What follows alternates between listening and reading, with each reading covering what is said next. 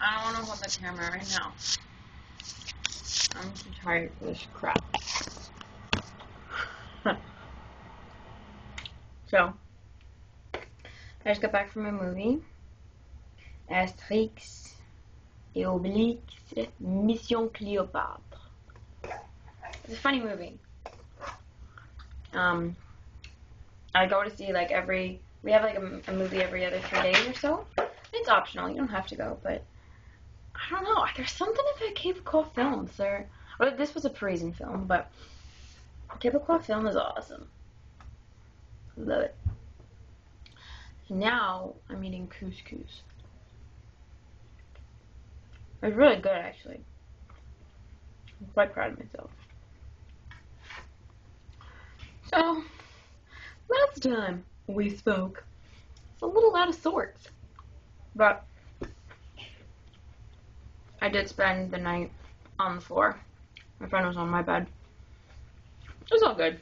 It was fine. It was just really funny. It was a last minute decision to go in the first place, and then look what happened. It was funny. C'est très drôle. Ouais. Ça va. And I slept maybe two hours. Had a test today. That was really fun. And, um, yeah, I basically slept the rest of the day. Not the whole day, but felt like most of it, and whatever. Tomorrow I'm going to L'Île d'Orléans, so I feel a bit better that I'm going to be outside the whole day. Because being inside when it's so nice out is depressing, but I could not stay awake. I was so exhausted, so gotta do what you gotta do. I, I don't know if I've ever shown you this. This is some clever shit. Fork, knife, and spoon.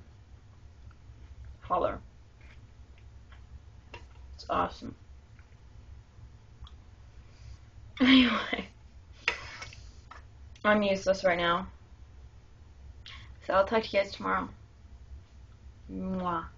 Have a fantastic Friday night. I hope you're living it up, you know? Doing things I'm not. I will talk to you guys tomorrow. I'll show you all the island. You get to see what it looks like. It's going to be awesome. Bonding time. Alright? Good night.